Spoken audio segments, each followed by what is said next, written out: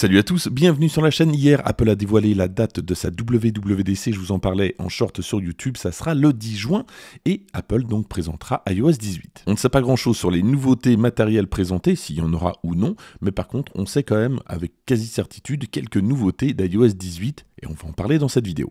Tout d'abord, et à chaque fois qu'Apple dévoile son nouveau logo WWDC, on essaye de l'analyser. Alors là, on voit que les deux W de Worldwide euh, Developer Conference sont entremêlés. Alors je ne sais pas trop ce que ça veut dire.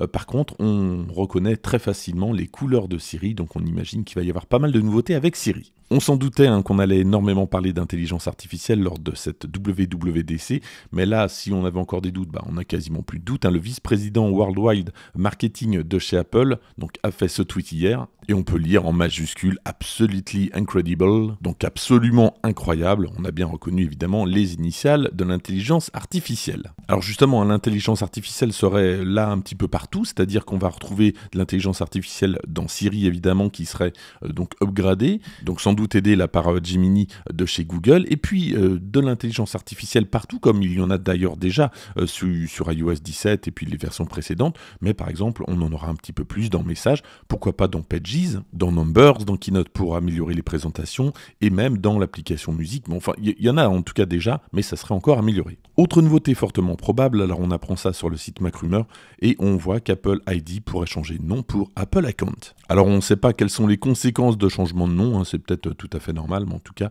ça devrait arriver courant 2024. Autre nouveauté, alors la plus hypothétique et encore plus en France, la possibilité d'avoir des itinéraires personnalisés avec plan. Cette fonction ne serait disponible qu'aux États-Unis à son lancement et donc permettrait de personnaliser son itinéraire, notamment pour passer par des chemins qu'on connaît mieux.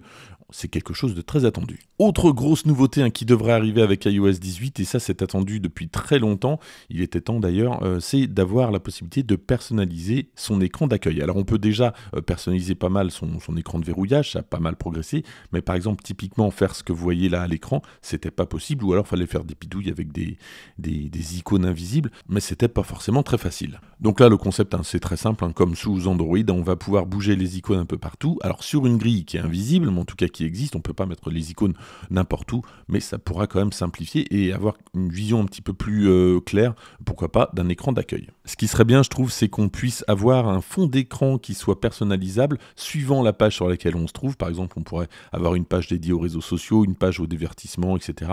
Ça serait pas mal. Autre nouveauté intéressante, ça concerne l'accessibilité. Alors, on c'est quasi sûr, en tout cas, ça, on en parle depuis un petit moment, avec notamment des raccourcis adaptatifs pour bah, tout ce qui est lié à l'accessibilité. Donc l'idée ici, c'est de pouvoir basculer euh, des paramètres liés à l'accessibilité, notamment avec VoiceOver, avec le contrôle vocal, le zoom, etc.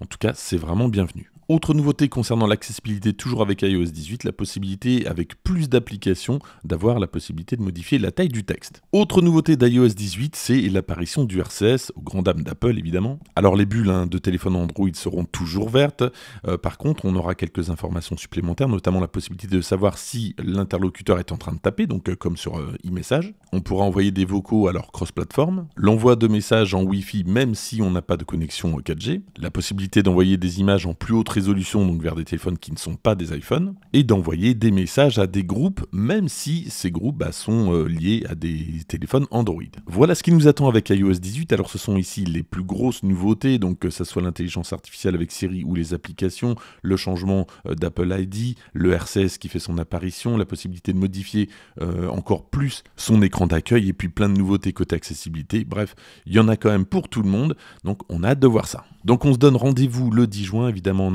n'hésitez pas à liker cette vidéo, à la partager, à vous abonner pour être au courant de toutes les dernières nouveautés d'iOS, et moi je vous dis à très bientôt.